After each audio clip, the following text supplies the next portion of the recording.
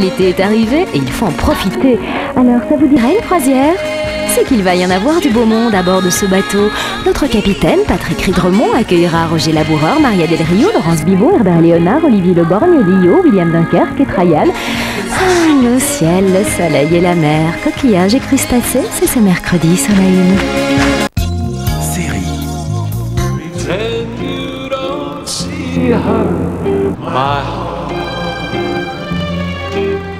Although she's coming our way.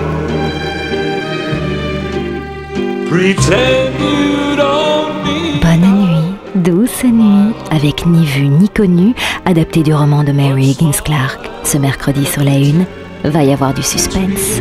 Ce n'est pas fini, Sloane. Pas encore. Grâce aux matières premières, beaucoup de pays du Sud participent à l'économie mondiale, mais l'effondrement des cours du marché accentue les inégalités entre le Nord et le Sud. Les pays du Sud réclament l'équité. Notre invitée, Odile Castel, maître de conférences en économie à l'Université de Rennes 1. Elle veut éviter le pessimisme, pessimisme qui mène à l'inaction. Rendez-vous dans Dounia, ce mercredi sur la Une.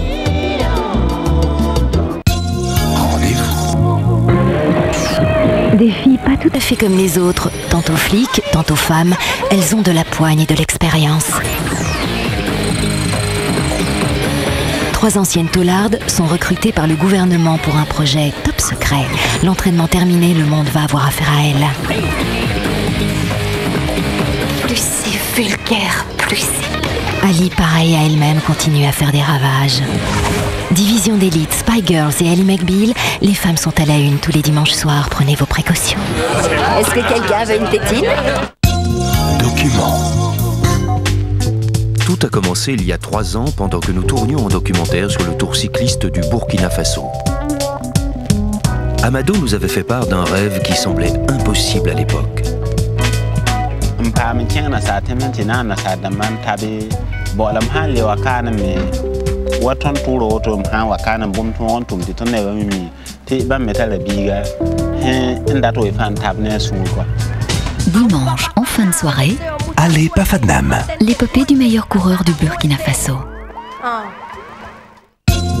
Cinéma. La vie de millions de passagers est entre leurs mains. Belle, t'as remarqué que t'as deux avions qui vont l'un vers l'autre Ouais, j'ai remarqué. Qu'est-ce que vous dites-moi Enfin, qu'est-ce que vous aimez Chacun est doué pour un truc, je veux dire. J'ai un trou, envoie un autre avion. Sexe et stress font-ils bon ménage Monsieur Falson Nick Nick Appelez-moi Nick. Rends-moi ma plume Non, tu l'auras ma plume Non, tu l'auras pas Regarde-moi dans les yeux. Et dis-moi que tu ne m'as jamais trompé. Pour contrôler votre septième ciel, retrouvez les aiguilleurs lundi soir sur la Une. Document. En 50 films et autant d'années de carrière, Gregory Peck s'est imposé comme l'une des grandes icônes populaires du 7e art. À l'instar de son succès, sa modestie était immense. Héros d'ombre et de lumière, et père tranquille en famille, il a su marier les petits plaisirs de la vie et les frissons du grand écran. Come get me. Les femmes le savent mieux que personne, Monsieur Peck laissera jamais un délicieux goût de trop peu. Lundi soir, la Une fait le tour du monstre sacré dans un document inédit.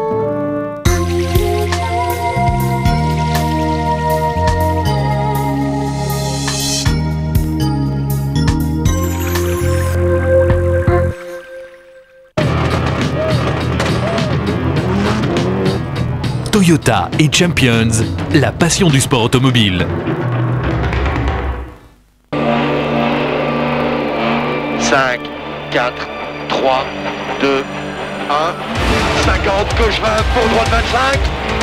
Droite 25 pour gauche 25. Gauche 25. Et droite 25 moins sur gauche 30. Bienvenue dans Champions 2003 numéro 23 de cette dixième saison. Nous sommes à Chypre pour le rallye de Chypre, septième manche du championnat du monde des rallyes. Pour rappel, Chypre est une île de la Méditerranée, la troisième plus grande, derrière la Sicile et la Sardaigne. Mais Chypre est aussi une île tout à fait particulière, avec une partie turque et une partie grecque. Elle est à moitié turque, à moitié grecque. Et la partie grecque est de plus en plus tournée vers l'Europe. Elle est aussi de plus en plus axée vers le tourisme. Savez-vous que les Chypriotes ne sont que 700 000, mais qu'ils accueillent chaque année 2 millions de visiteurs, soit trois fois plus que la population locale. C'est énorme. Nous voici au sommet du mont Trodos, à 2000 mètres d'altitude, le mont Trodos qui domine la partie grecque de l'île, la partie grecque dans laquelle on retrouve des villes comme Nicosie ou Limassol. Limassol est d'ailleurs le quartier général du rallye de Chypre, c'est de là que tout va partir. Le rallye de Chypre, maintenant, c'est évident que tout le monde veut le gagner, que pas mal de pilotes pourraient le gagner, mais ils ont tous un ennemi d'abord à vaincre, c'est la chaleur, la canicule. En juin, à Chypre, la température moyenne c'est 30 degrés, mais elle peut grimper bien au-delà, ce qui signifie que dans les habitacles des World Rally Car, il y aura environ 55 degrés. Seuls les Peugeot pourraient ne pas être des saunas ambulants puisque les 206 ont l'air conditionné. Ceci devrait avantager Richard Burns, le leader du mondial.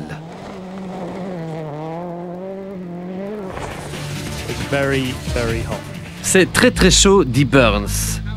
L'air conditionné pourrait aussi avantager Gronholm, Gronholm qui n'arrive pas à dépasser son équipier qui n'est pourtant pas son ami. Yeah, yeah, we need luck and uh, I hope it will not be like in Greece. We will see, but I really hope for a good rally. Les Citroën Xara vont vivre leur baptême du feu. Elles rouleront pour la première fois dans une telle chaleur. Carlos Sainz n'aime pas beaucoup Chypre. Chypre vous aime parce que vous avez souvent de bons résultats ici. Hein. Oui, mais c'est pas nécessairement c'est pas un rallye que j'aime beaucoup. Ça fait rien pour moi, c'est bien. Les Peugeot et les Citroën devront se méfier de Ford et notamment de Marco Martin. Marco Martin pourrait gagner Chypre puisqu'il a été vainqueur impérial de l'Acropole. Yeah, why not? But uh, it's going to be very tough rally. It's a lot tougher than Chris and uh, we have to make sure we take, uh, make it to the finish as well to get some points. Enfin, il ne faut pas oublier Subaru qui brille toujours dans la caillasse. Et attention à Peter Solberg, le Norvégien s'est ultra bien préparé. I think it will be quite tough and hard for, for many people and hopefully I'm a good uh, fitness to, to come through it there. support the physical training? Uh, massively. I've trained hard before this rally. Tandis que Solberg est convaincu qu'il va gagner, revoyons le classement mondial pilote avant Chypre. Regardez, Burns a 5 points d'avance sur Sainz, Gronholm est troisième, Solberg cinquième. Quant à nos deux Belges, Freddy Loix et François Duval, ils sont complètement décrochés. Nos deux Belges engagés en mondial pour des équipes d'usine, Freddy Loix pour Hyundai et François Duval pour Ford, ont plutôt raté leur dernier rallye, le rallye de l'Acropole. Ici, dans des conditions à peu près similaires de chaleur, mais des conditions de route un peu différentes, plus lentes en fait. Ils vont devoir se refaire le moral et avant tout chercher à terminer. Freddy Loix n'inspire qu'à une chose, une seule chose, ne pas connaître de soucis, pouvoir rouler vite et voir enfin une ligne d'arrivée. Moi, je veux surtout terminer parce que c'est déjà depuis Turquie que j'ai plus terminé un rallye. Chaque fois, on a abandonné euh, avec euh, le problème mécanique, sauf en Nouvelle-Zélande où je fais un accident, mais pour moi, le plus important, c'est terminer. François Duval a brillé à l'Acropole, mais son exploit a été écourté trop tôt par une sortie de route évitable. À Chypre, François doit se réhabiliter. Essayer de trouver un bon rythme entre euh, l'Argentine et, la Grèce pour ne pas aller trop vite au début. Il faut quand même bien rester dans les traces. Bon, les notes ne sont pas trop optimistes, donc euh, je pense que ça devrait le faire. François Duval quitte le podium planté dans le centre-ville de Limassol avec la tête pleine d'espoir et de rêve. La première journée du rallye de Chypre, c'est deux spéciales. Deux spéciales à faire chacune deux fois, soit 100 km à un rythme lent. Ça va faire 100 minutes de course dans la fournaise. Je peux vous le dire, ils vont tous suer. Richard Burns, le leader du mondial, ouvre la route. Dans la première spéciale, il signe un chrono de 9 minutes 42 ce n'est pas un bon chrono. Il a été pénalisé par le fait d'ouvrir la route et de balayer la poussière. En attendant, 9,42, c'est le temps à battre. Marcus Gronholm est troisième sur la route. Il est lui aussi pénalisé, mais ok, il bat Burns de 3 secondes, mais son chrono de 9,39 est pulvérisé par tous ceux qui suivent sur une piste de plus en plus nettoyée. Coucou Gilles Panizzi.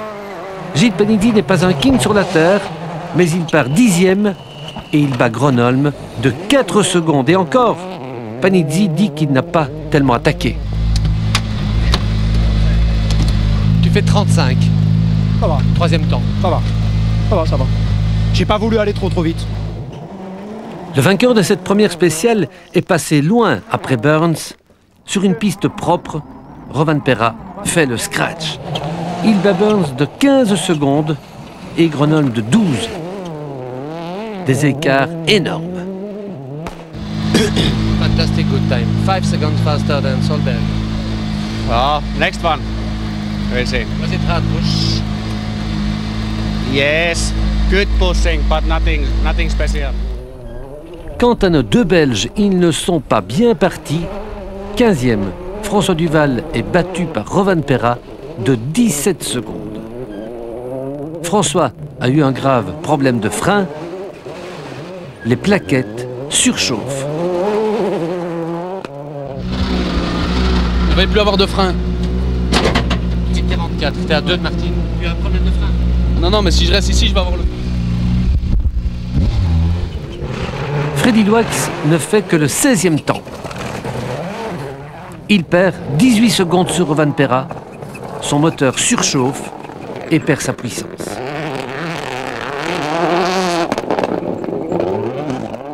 On s'aperçoit que la route se nettoie pas mal, hein, quand même. Euh, oui, très bien, oui. Et vous n'en profitez pas beaucoup. Non. bon. Il n'est que 9 h du matin, il fait déjà 30 degrés et on attaque la deuxième spéciale, un marathon étouffant. Burns balaie les chemins caillouteux pendant 35 km. Son chrono, 36 minutes. 36 minutes à battre. Comme prévu, il est battu par les suivants. Gronholm le bat de 37 secondes, ce qui est énorme, mais Gronholm ne se fait pas d'illusions. For the position, I, it's maximum maximum speed now. Behind the cars, they will kill me. I, no, I have no chance. No chance. Se trompe. Le vainqueur de l'Acropole, l'Estonien Marco Martin, ne parvient pas à le battre et pourtant l'Estonien a utilisé la route, les bas-côtés et abîmé le nez de la Focus. Voici le Norvégien Peter Solberg. Il bat Burns de 30 secondes. Le Norvégien a attaqué dur et il souffre. Voici François Duval. Pendant 35 km, notre Belge se bat contre le chrono. On imagine bien que ses ennuis de frein ne se sont pas arrangés. De fait, ils sont toujours bouillants. Mais en plus, la fournaise provoque un autre souci majeur. Écoutez et regardez. Putain, vas-y, essaye de pousser. Elle est dedans, mais il faut pousser. Joue avec. La boîte de vitesse électronique est bloquée. François et Stéphane s'arrêtent. Mais il y a un truc, il est bon le trou. Non, non. Mais il y a une copie là, je sens. Ah oui. Ils rebranchent la boîte manuelle. Ça va? Ouais. Droite 70 en frein, pour gauche 40. Combien de kilomètres il reste? Quoi? Combien de kilomètres il reste? Pas beaucoup, 3. Sur droite 60, sur gauche 40. Pour gauche 60, pas extérieur. Non, on, a- on est tombé euh, sur en boîte de vitesse, on est resté calé en quatrième. Et on a on s'est arrêté et on a mis la boîte manuelle. Mais euh, c'est très dur. François, do you have a problem in there? François Duval a perdu 1 minute 15 sur Marcus Gronholm. C'est énorme. 1 minute 15, c'est beaucoup plus que ce que Freddy Loax perd. Il lâche 50 secondes, Freddy, toujours à cause d'un moteur surchauffé qui perd constamment de la puissance. Écoutez.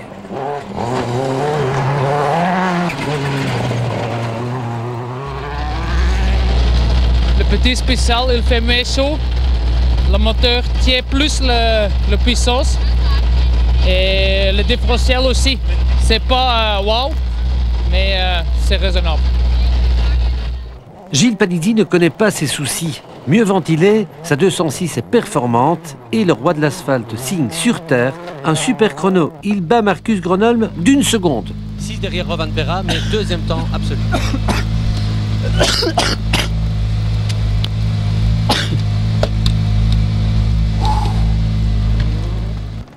Panizzi n'est battu que par Makinen et par Rovanperä. Rovanperä, le Finlandais qui signe son deuxième scratch du jour.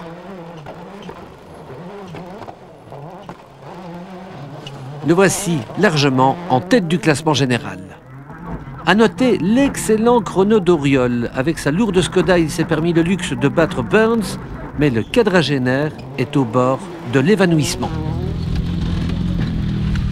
Au revoir. M'attrape Water, please, water, water. Water.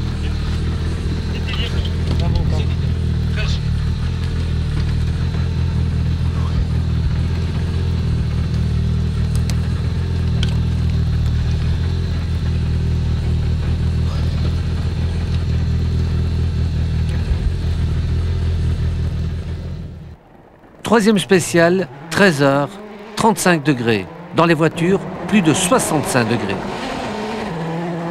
Les rallymen mondiaux sont entrés en enfer et Rovan Perra signe son troisième scratch. What is your feeling, Harry? Good. It's good. Deuxième temps pour Gronholm. Par son pilotage génial, le champion du monde parvient à gommer le désavantage de passer tôt sur la route.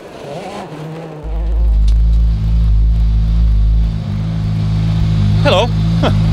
Marcus, the sun's gone in, so your air conditioning isn't such an advantage. How was it? Has not. I have not uh, used it at all today.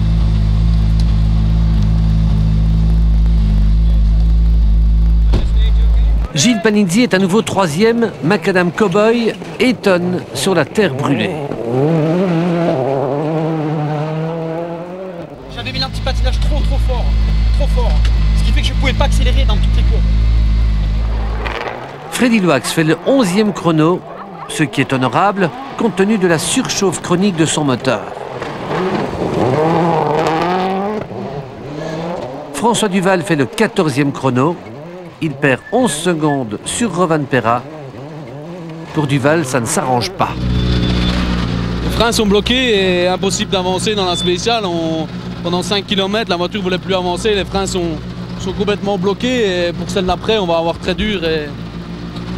Plus, il y a encore un petit souci de boîte. euh,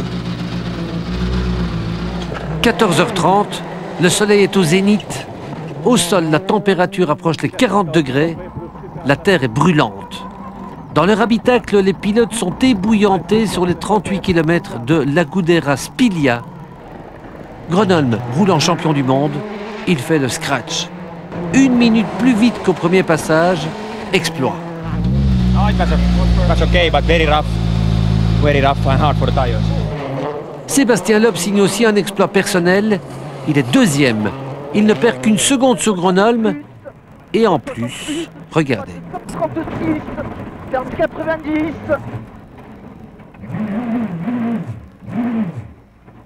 C'était bien, on était dans le bon rythme, mais on a fait un tête à queue. Je perds 15 dans un tête à queue. C'est, euh, C'est con, mais on voit que le rythme était bon. Quoi, hein. On a vraiment attaqué euh, au maximum. euh.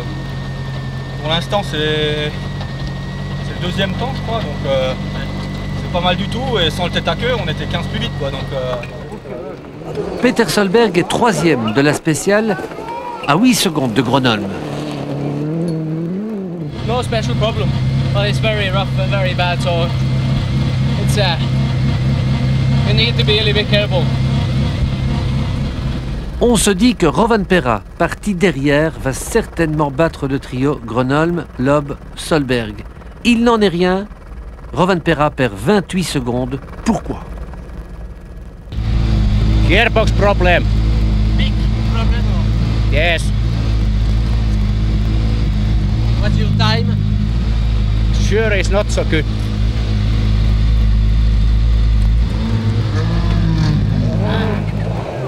Voici François Duval en lutte contre le chrono sur les 38 km de fournaise. Dans la Focus, l'air est suffocant, plus de 67 degrés. C'est pire qu'un sauna et ça dure pendant 35 minutes. L'épreuve est épouvantable aussi pour les copilotes. C'est dur, c'est chaud. Oh putain. C'est chaud, c'est chaud, c'est chaud. C'est du casse-bagnole, tu peux pas savoir. Duval Prévost ont perdu 36 secondes sur Gronholm.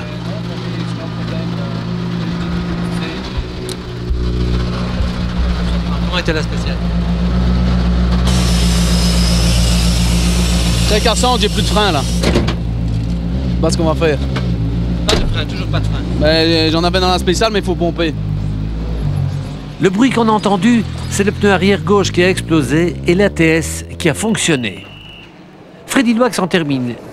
Il perd plus d'une minute. Tout est en ébullition sur la Hyundai. L'huile du moteur approche les 140 degrés et toute la mécanique se met en sécurité. Je ne sais pas faire plus parce que, comme j'ai dit le matin, on roule presque sur, euh, sur la puissance. On roule vraiment pour terminer. Voilà. J'attaque, mais avec la possibilité que j'ai. Si je force plus, le moteur n'a pas la puissance pour euh, faire une bonne glissade.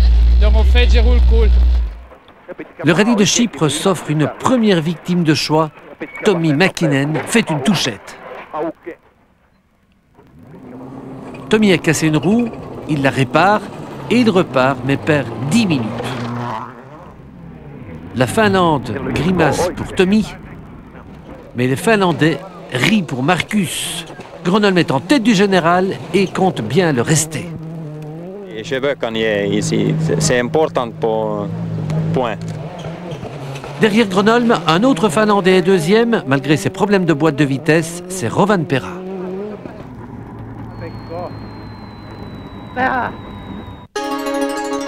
On peut s'attendre à un fameux duel entre ces deux-là, Gronholm-Rovan Pera, un duel arbitré peut-être par un autre Scandinave, Solberg troisième. Ni Loax ni Duval ne sont dans le top 6, et pour cause. À cause de leur brûlure technique, ils sont seulement 10e pour Loax et 11e pour Duval. Réaction de nos deux Belges, cuit et recuit. On est 11e, mais bon, c'est déjà bien de ne pas ouvrir la route demain. Et bon, j'espère que la voiture tiendra jusqu'au bout pour euh, quand même apprendre un peu le terrain. Mais ça reste quand même très difficile et surtout pour les voitures. On a un problème euh, de surchauffe. C'est le différentiel qui chauffe trop. Aussi le moteur. Et les deux ensemble, ça fait que, c'est très dur à, conduire.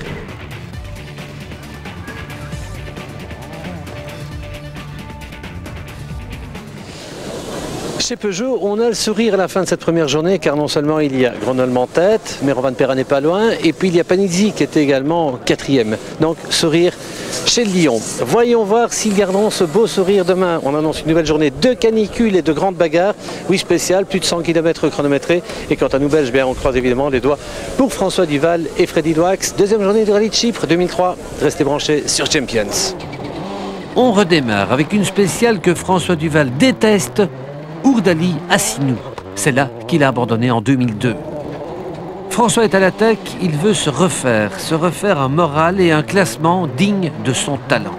Le jeune Belge veut signer une performance matinale. Gauche sur droite 40 ferme.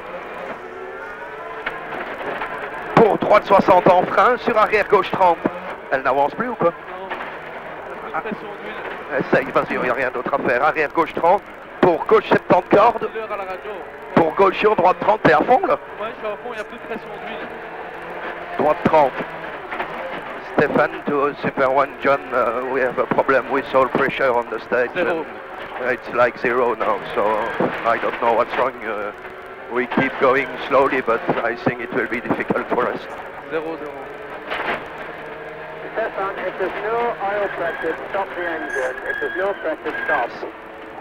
Ok, oui, stop. C'est-à-dire S'il n'y a pas d'huile, s'il n'y a pas de pression d'huile, tu dois arrêter le moteur. C'est sûr que tu as zéro. hein. C'est l'abandon pour Duval-Prévost et c'est le drame pour Ford, car au même endroit, quelques minutes plus tard, l'autre Focus, celle de Martin Park, s'immobilise aussi, également pour un problème de moteur.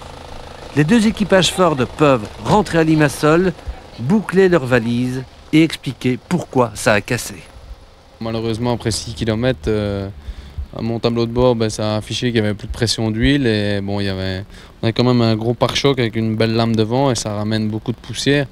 Bon, déjà, mon radiateur d'eau était complètement bouché, ainsi que la boîte à air. Bon, maintenant, pourquoi pas de pression d'huile? Est-ce qu'il y a des cailloux qui sont passés euh, à travers le moteur et quelque chose comme ça? Mais sur 6 km, c'était quand même tout du sable et c'était quand même très mauvais. Bon, voilà, c'est l'abandon. Bon, c'est un rallye pas facile pour les voitures. Dans notre spécial, il y en a 5 qui se sont arrêtés. Euh, c'est très dur, surtout pour des problèmes moteurs. Ils ont tous abandonné pour des problèmes moteurs ou suspensions euh, qui sont trop chaudes. Commentaire de Stéphane Prévost. Bon, apparemment, c'est- c'est toute la poussière, etc. La spécialité fort creusée, donc avec le, le spoiler devant, toute la terre revenait carrément au-dessus de la voiture. Et le moteur a, mangé trop de poussière et il n'a pas digéré. Donc euh, je pense que c'est ce qui est arrivé à Marco en Argentine. Ils ont dessiné une nouvelle boîte à air depuis, mais bon, peut-être c'est pas suffisant. Mais enfin, ça, on va voir, ils vont analyser.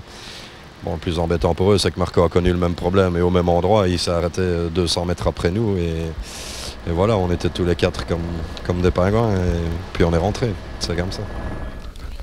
Cet abandon est décevant pour les supporters belges qui sont venus spécialement pour voir François Duval. Bonjour, Alors tu étais venu voir qui? Les, les voitures belges. Et un pilote en particulier? Oui. Il s'appelle comment? Euh, Rofal. Duval. Et il roule bien François Duval? Il est où Oui. La bonne année. Donc il va pas venir. Donc il va pas finir. Et alors t'es t'es triste, déçu quoi Oui, mais seulement moi, je suis pas assez triste parce que c'est papa aussi qui lui manquait. Les supporters belges de François Duval ne pourront même pas se consoler en soutenant Freddy Loix, car dans la deuxième spéciale du jour, Freddy est victime d'une surchauffe fatale. Il s'arrête. Om. Om, jump,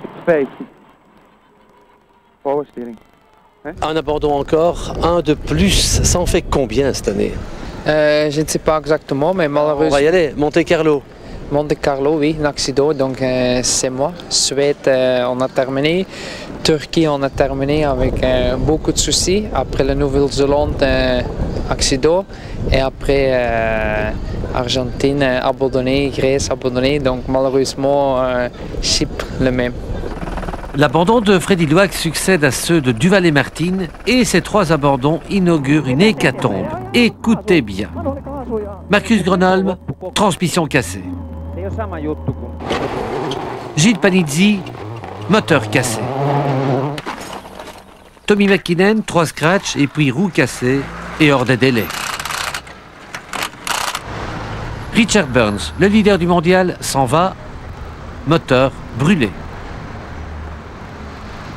Didier Auriol et Tony Gardemeister rangent leur Skoda, techniquement paralysés. Il ne reste plus en course qu'une poignée de pilotes d'usine, cinq ou six, tous pétrifiés par la canicule. Deux d'entre eux résistent au coup de soleil assassin. Il s'appelle Peter Solberg, qui fait deux scratchs et prend la tête du général.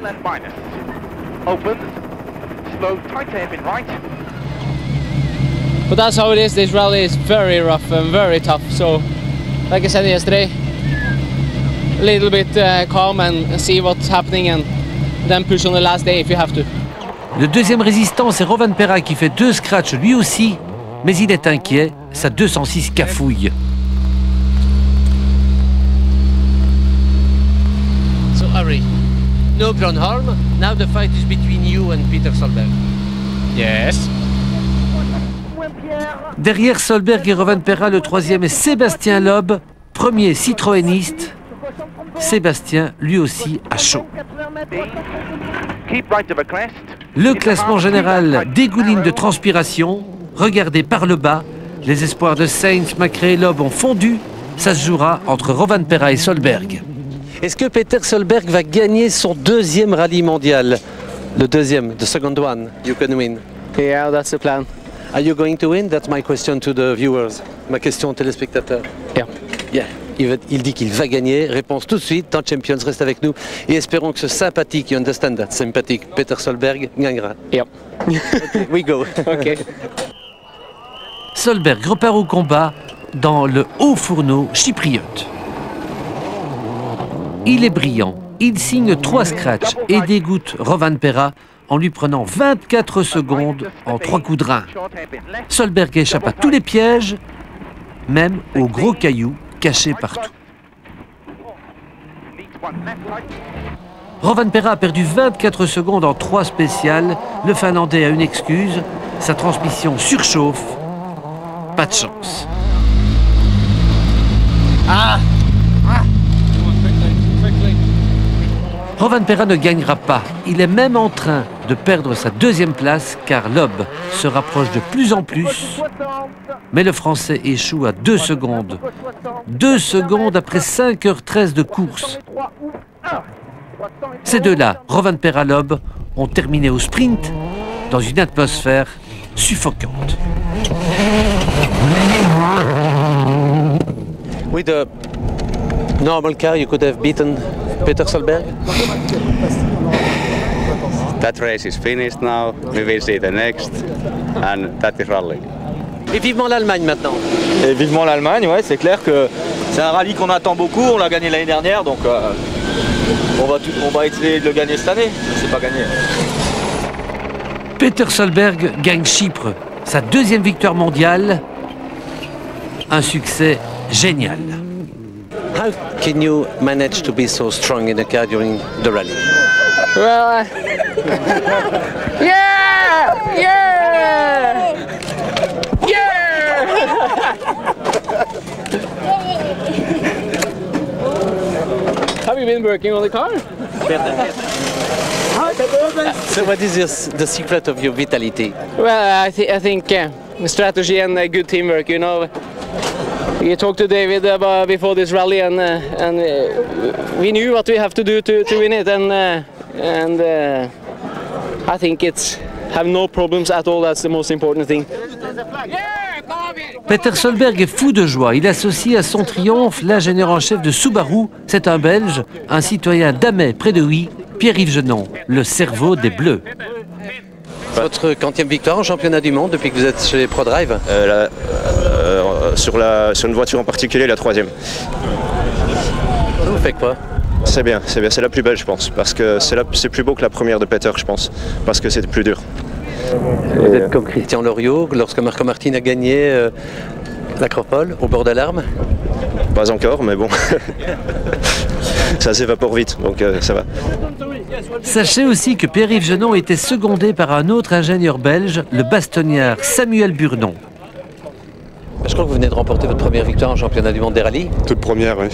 Et fier, très fier. ouais. C'est une super victoire, on s'est battu jusqu'au bout.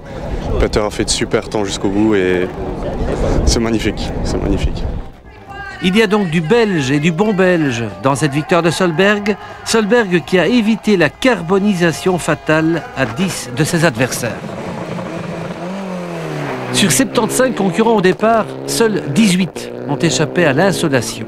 Et tenez-vous bien, un équipage belge a survécu, les frères Colsoul, Bob et Tom. Ils terminent 14e au général et 5e en groupe N.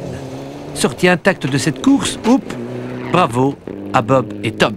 C'est déjà quelque chose quand tu arrives, quand tu es à l'arrivée. Et oui, euh, on a 4 points maintenant, donc euh, tout le monde est content, euh, vraiment. C'était, c'est fantastique. 4 points au championnat du monde et vous sauvez l'honneur des Belges. Bravo Tom, bravo Bob. Merci beaucoup. Ok, maintenant nous on file à notre agenda. Et notre agenda c'est deux choses. C'est un rallye à venir, c'est pas le rallye de Chypre, c'est le rallye d'Ypres. Et un rallye passé, c'est Braine-le-Comte, récit de Braine-le-Comte et prévision pour Ypres. Au volant de sa Toyota World Rally Car, Peter Chun a gagné les 12 heures de Braine-le-Comte. On vous racontera sa victoire en détail la semaine prochaine. Peter Chun est fin prêt pour Ypres, où il affrontera Patrick Sneyers.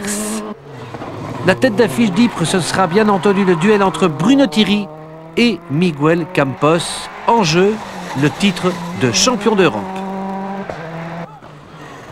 En 206 également, le russe Vazine et Jost Boxoun pour la première fois en Peugeot.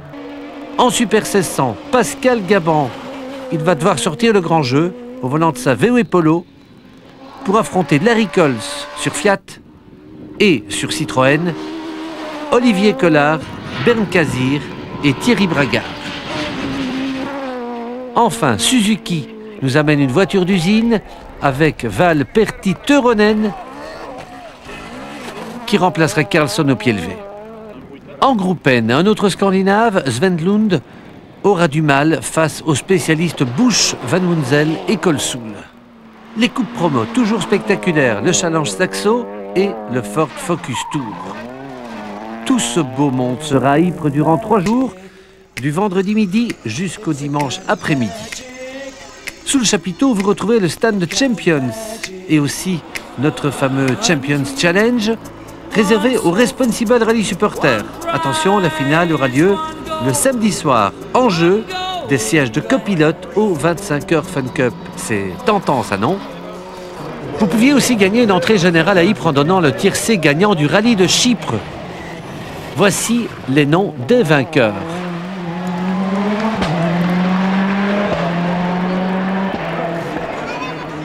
Sachez enfin que Champions et la RTBF vous propose un programme de choc en TV, un résumé le samedi soir, un résumé le dimanche après-midi, le week-end sportif, le journal télévisé et Champions la semaine prochaine. À Ypres, on devrait s'y retrouver, soit en spécial, en toute sécurité. Ça, c'est important, vous le savez bien, c'est très important la sécurité. Il en va de la survie des rallyes belges. Et puis, si on ne se retrouve pas en spécial, eh bien, on se retrouvera peut-être sur le stand de Champions au centre d'Ypres, sur la Grand Place. Le stand Champions, vous le savez, il y a notre stand Responsible Rally Supporter. Venez signer la charte d'honneur. Nous sommes euh, plus de 24 000 maintenant, ça commence à être vraiment beaucoup. Cette charte d'honneur, vous le savez, elle est destinée à tous les Belges, nos amis de Flandre et nos amis francophones, mais aussi aux Français. Et ils sont nombreux à Ypres. Donc venez nous retrouver tous et toutes sur le stand Champions. À bientôt.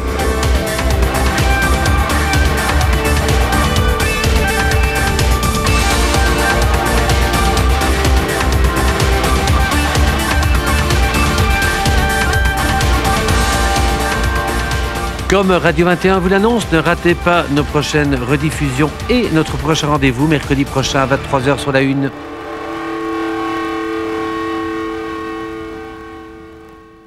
Gauche 60, coupé. Long gauche à fond et frein, frein. 50 mètres pour droite, 80, coupé. 25 mètres, coupé. Document. Tout a commencé il y a trois ans pendant que nous tournions un documentaire sur le tour cycliste du Burkina Faso. Amadou nous avait fait part d'un rêve qui semblait impossible à l'époque.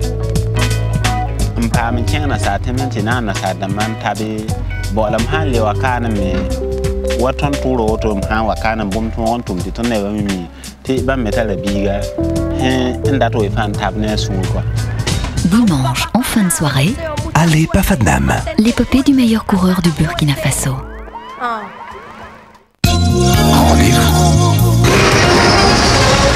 Cet été, vous allez voir ce que vous allez voir.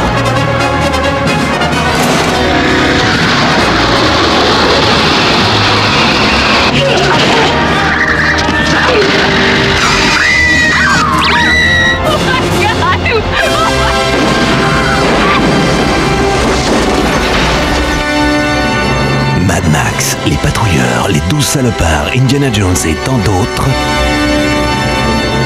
Tous les lundis soirs, vous allez trembler avec le cycle frisson et aventure.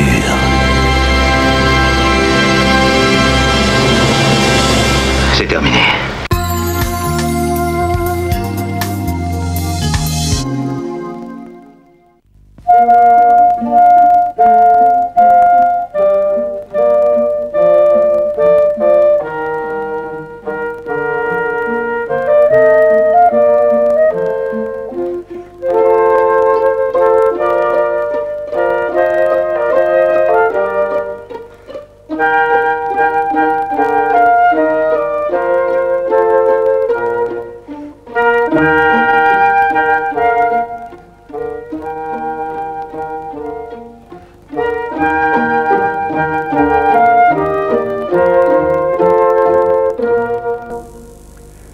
Chers amis de la pensée les hommes, bonjour, merci de votre présence et de votre attention que vous ne regretterez pas. Faites-moi confiance.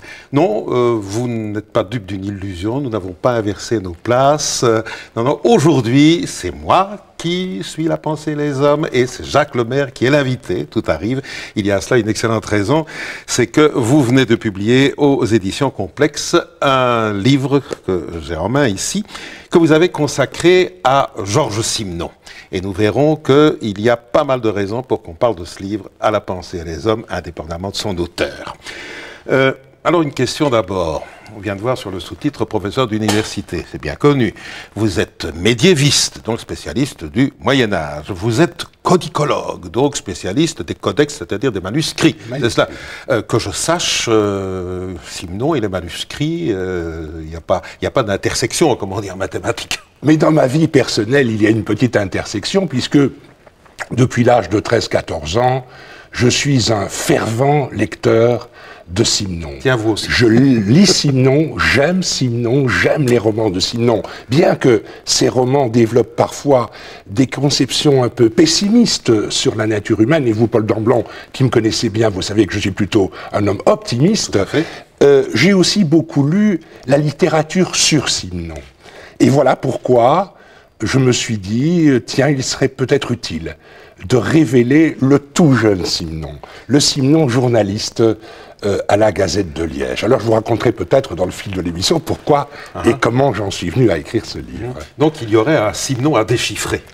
Je pense qu'il y a un Simon à déchiffrer, à étudier, et je, je pense même qu'on pourrait dire qu'il y a plusieurs Simon.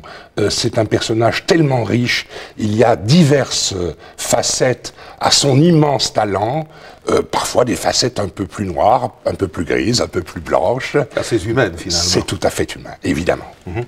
C'est le jeune Simon qui a retenu votre, attention. Il naît à Liège le 13 février 1903. Or, vous vous intéressez au début des années 20. Il est donc tout jeune, il a 17-18 ans.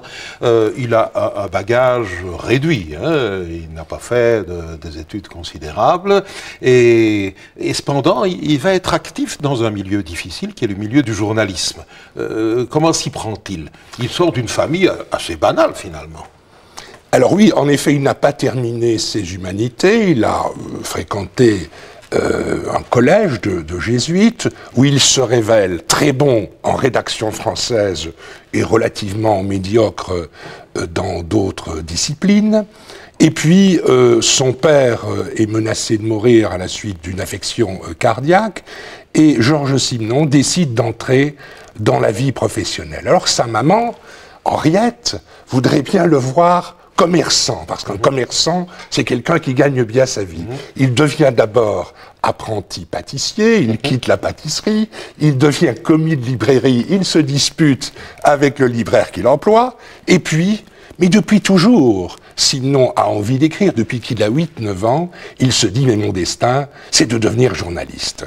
Alors nous sommes en euh, début 1919, il entre à la Gazette de Liège le 6 janvier 1919. Euh, Nous sommes donc juste après la guerre de 14-18, et la guerre de 14-18 euh, a, laissé de la place dans les rangs des journalistes. Beaucoup mmh. sont morts au front, d'autres ont, disparu, et donc le jeune euh, Simon entre à la Gazette de Liège. Journal catholique. Journal catholique conservateur. Et il a des, arguments pour être reçu dans cette prestigieuse maison, hein, parce que sur la place, c'est tout de même un journal ah, important. L'un des plus grands journaux de Liège avec, avec la Meuse.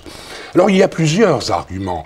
On a cité les biographes, notamment Pierre Assouline, mais bien d'autres, ont euh, des circonstances comme le fait qu'il ait été euh, un fidèle euh, élève de l'enseignement catholique. l'un des l'un des cousins de son père était, qui s'appelle aussi Georges Simenon d'ailleurs. un était, oui, était était évêque vicaire général, vicaire général évêque auxiliaire de, Liège. Il a d'ailleurs écrit ce Georges Simenon-là une histoire du diocèse de Liège. Moi, je pense que la raison euh, principale, fondamentale pour laquelle Simenon a été engagé à la Gazette, on lui a fait passer un petit test. Je ne sais pas si c'est Joseph de Marteau, le patron mhm. de la Gazette, ou bien M. Drillon, qui était le, chef de rubrique, lui a donné euh, une petite mission, hein, faire un petit reportage, et au bout de 20 minutes, Georges Simenon est arrivé avec son reportage tout fait très bien fait. Et donc, moi, je crois, au-delà des aspects euh, protection, etc., je crois que c'est cela qui a déterminé les autorités, euh, les responsables de la Gazette à l'engager. Mais est-ce que le jeune Simenon qui signe euh, Georges Sim ou Monsieur Coq dans Monsieur ses- Lecoq. Hein, ou Monsieur Lecoq, oui. euh, est-ce qu'il est bien à sa place dans ce journal catholique conservateur? Parce que s'il est d'une famille catholique, vous l'avez dit, avec des relations, son comportement n'est pas toujours très catholique, si j'ose dire. Notamment, euh, il fréquente les mauvais lieux, hein, il ne s'en cache pas, ce qui n'empêchera pas d'écrire un article assez violent contre la prostitution, hein, etc., etc. On pourrait multi- multiplier les exemples. Est-ce que donc d'emblée, il y a, il y a ambiguïté dans le personnage? Euh, ne parlons pas encore d'ambiguïté à ce stade-ci. Euh, je crois que Georges Simenon n'est plus croyant. Il a perdu la foi vers l'âge de 12 ans, mais je crois que c'est un homme qui a envie d'écrire. Et dans la situation de Liège en 1919, écrire, c'est d'abord être journaliste. Et on lui offre la possibilité d'être journaliste. Et il va mettre sa plume au service de ses patrons. Et il va donc endosser toutes les idées de la Gazette de Liège de 1919. Même celles qui paraissent les plus contradictoires avec, vous l'avez dit, la vie personnelle euh, de Georges mais on pourrait peut-être prendre tout à l'heure quelques exemples précis de ces contradictions entre Georges Simenon, individu, et Georges Simenon, journaliste à la Gazette de Liège. J'en- ai, ai quelques-uns. No- Notamment, il fréquente un, un milieu assez anarchisant qui s'appelle la CAC, la CAC de Luc Lafnay, dites-vous. Alors, c'est quoi ce, ce groupement-là? Alors c'est en effet une sorte de cénacle de jeunes anarchistes, essentiellement composé de peintres, mais il y a aussi le futur éditeur de Noël, il y a euh, le journaliste, le jeune journaliste qui est euh, Georges Sim, Georges Simenon.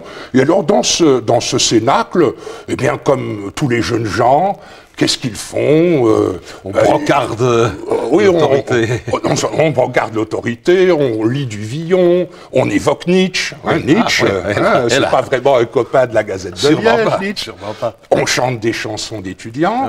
Euh, il y a de- un véritable réseau d'amitié entre Georges Simenon et beaucoup de ces peintres qui composent la CAQ, et un certain nombre d'entre eux vont illustrer le premier roman de Georges Simenon intitulé Au pont des Arches. Euh, donc, euh, il est bien ins- inséré, Georges Simenon, dans ce milieu. Il est si bien inséré qu'il y va rencontrer sa première épouse, Régine Ranchon, dite Tigi. Mhm, mhm. Euh, mais c'est l'époque, et vous venez d'y faire allusion, où il publie déjà ses premiers livres. Euh, c'est l'époque du pendu de Saint-Folien, je crois. hein. non, ça, le, ça vient, le- ça le vient pendu de. Saint-Folien vient après, mais le pendu de Saint-Folien évoque des personnages qu'il a rencontrés, a à la CAQ, Ouais. notamment un peintre qui s'adonnait à l'usage de la cocaïne, qui s'appelle Joseph Klein et qui est le pendu de Saint-Folien. Mais le pendu de Saint-Folien est un Maigret, on y voit la personnalité Mhm. de Maigret, et c'est un, un roman qui date des années 30, Ah, fin des années 20, début Mais des qui est inspiré de cette Mais qui partie est de, inspiré. ce- de ce- de sa vie. hein. dans l'œuvre de Georges Simenon, il y a toujours une inspiration personnelle au départ. Simenon, dans tous les romans qu'il écrit, tire parti de ce qu'il a vu, senti et vécu.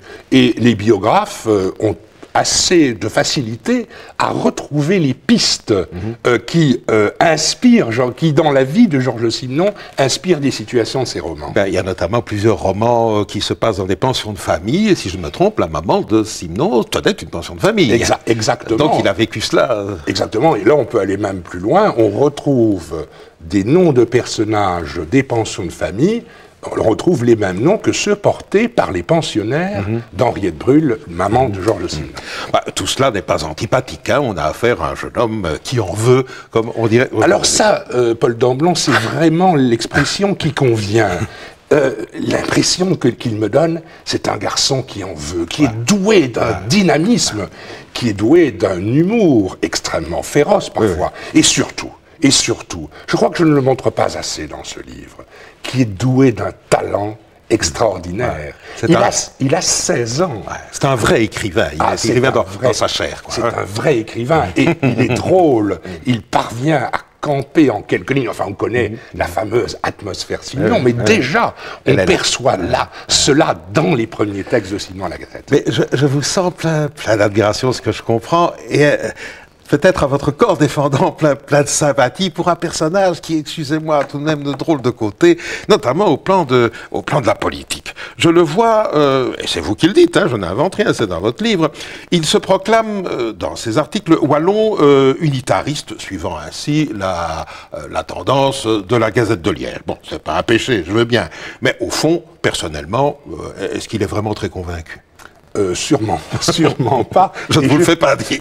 Et je dirais presque que sur, tout- sur tous les plans, dans toutes les directions où il défend des conceptions dans la Gazette de Liège, sur le plan personnel, on, on sent, on perçoit qu'il adopte des idées presque opposées. Euh, p- vous aviez évoqué il y a un instant la question de l'attachement euh, de Georges Simenon à la Wallonie. Cet attachement est réel. Toute sa vie, et notamment dans ses dictées, il dira combien il est attaché à la Wallonie. Il y a un article qui est paru euh, avec le titre Georges Simenon, Wallon et international. Et ça me paraît être vraiment la réalité de la pensée de Georges Simenon sur ce thème. Seulement, la Gazette de Liège, organe catholique conservateur, adopte en matière linguistique euh, des positions extrêmement modérées, mais alors vraiment extrêmement. Et Georges Simenon ne peut pas défendre ses propres options dans la Gazette. Donc il défend les options de la Gazette, notamment euh, il, il attaque, euh, enfin la Gazette et lui-même attaque les libéraux qui ont une politique plus wallingante, si vous me permettez cette expression qui est peut-être un petit peu anachronique, une politique plus wallingante, alors que Georges Simenon écrit dans Nosperon, qui est une, une petite gazette, enfin un petit hebdomadaire wallingant, où il défend, il parle de la Wallonne, de la grandeur de la Wallonne, etc. C'est ce qu'il fait dans Nanès aussi, qui est, C'est un ce qu'il hebdo fait dans Nanès satirique, aussi, un peu comme... mais là, il ne signe pas euh, ses textes parce que Nanès est un- une feuille, un hebdomadaire beaucoup plus satirique, beaucoup plus dur que Nosperon. Euh, et d'ailleurs, c'est une feuille qui tournera mal, qui deviendra une feuille de chantage, dont d'ailleurs les responsables seront plus tard accusés de proxénétisme et même d'assassinat. hein. Euh, Danse et Deblot seront tous les deux, mais dans les années 20-30, euh, poursuivis pour proxénétisme et assassinat. Mais là, euh, Georges Là, Georges n'a plus rien à voir. rien Mais à il y a eu danger, et beaucoup de ses biographes le signalent, Georges Simenon a failli tomber dans le chemin de la délinquance. Et c'est surtout là, je crois qu'il faut rendre hommage à cette, à cette personnalité de premier plan qu'est Joseph de Marteau, le patron de la Gazette patron de de la Liège, Gazette de Liège, qui bien sûr est un catholique conservateur, mais qui a fait confiance à Georges Simenon, qui lui a toujours... Enfin, je, je raconte Oui, oui. toutes sortes Il y a d'anecdotes qui sont- qui sont, assez drôles. Sont drôles, Euh, euh, avec le pêcheur à la ligne notamment. Mais oui, mais Joseph de Marteau manifeste euh, sa confiance à Georges Simenon et Georges Simenon doit beaucoup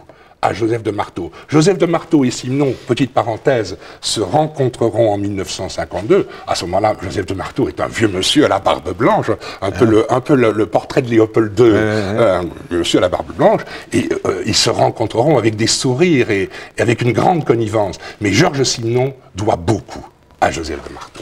Il faut dire aussi que Joseph de Marteau doit beaucoup à Georges Simenon, parce que Simenon écrit bien. Oui. Et donc la Gazette se porte bien, en bonne partie grâce à lui. Je n'oserais pas dire les- aller jusque-là, dire ces choses-là, mais il est certain qu'on lisait les billets de Georges Simenon, qui, étaient, qui sont d'une ironie féroce. Euh, beaucoup de biographes, et là je pense qu'ils se trompent, et c'est ce que j'ai voulu euh, peut-être montrer euh, dans mon livre, beaucoup de biographes disent « Ah, Simenon a une pensée originale ». Pas du tout. Simenon met ses pas dans la philosophie politique de la Gazette. Où Simenon se montre particulièrement original, c'est par son style et c'est par son ironie constante. Et c'est vrai que les, les billets de Georges Simenon, de Monsieur Lecoq ou de Georges Sim, hein, comme il les signe, ces billets euh, sont, sont marqués au coin du- d'un esprit euh, d'ironie qui n'est pas du tout l'esprit habituel de la Gazette de Liège. Non, mais ce talent et ce savoir-faire, il faut bien reconnaître qu'il le met au service d'idées qui, nous, ici, à la pensée des hommes, ne doivent pas nous plaire tellement. Euh, un antisocialisme radical, un anticommunisme caustique, je sais bien que le temps passe, et un antisémitisme virulent. Et.